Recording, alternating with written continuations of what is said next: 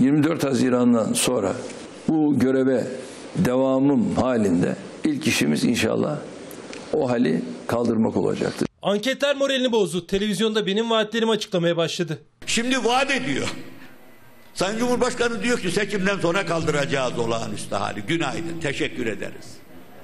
Yani büyük bir lütufta bulunacaklar. AK Parti'nin seçim beyannamesinde o halin süreceği yazıyordu. Seçimlere 10 gün kala Erdoğan farklı konuştu. Seçimleri kazanırsam ilk işim o hali kaldırmak olacak dedi. Sürpriz o hal çıkışına rakibi Muharrem İnce'den tepki sosyal medya üzerinden gecikmedi. Seçimden sonra OHAL'i kaldıracakmış. Şimdi kaldır, elini tutan mı var? OHAL koşullarında seçim yapan ülke olmaktan kurtulalım. Olağanüstü hal ortamında seçime bir ülkeyi götürmek en büyük haksızlık.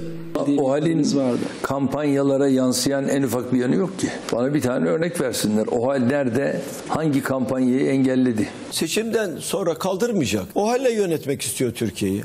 Her ne kadar Muharrem İnce ve Kılıçdaroğlu cephesinde inandırıcı bulunmasa da Erdoğan'ın seçimden hemen sonra o hali kaldırma sözü en çok ekonomi yönetimini rahatlatmış görünüyor. İlk işimiz inşallah o hali kaldırmak olacaktır. Bu da Türkiye'nin algısını dışarıda Türkiye'ye bakış açısını olumlu yönde değiştirecek. O hali kaldırma polemiğinde Erdoğan 24 Haziran'dan sonra ilk işimiz olacak mesajıyla son noktayı koymuş gibi görünse de terör parantezi açıp temkinli konuşması dikkat çekti.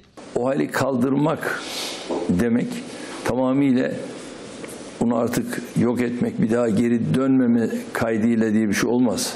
Ne diyordu? O hali kaldırmak bizim gündemimizde yok. Dün söylediğini bugün unutuyor. Biz terörü gördüğümüz zaman teröre karşı tedbir neyse bunu yine alırız. Fransa o hali kaldırdı mı tamam. Yok yani Kaldırıyor tekrar koyuyor. doğru. Cumhurbaşkanlığı seçiminde son viraja girilirken gözler 24 Haziran'dan sonra o halin akıbetinde.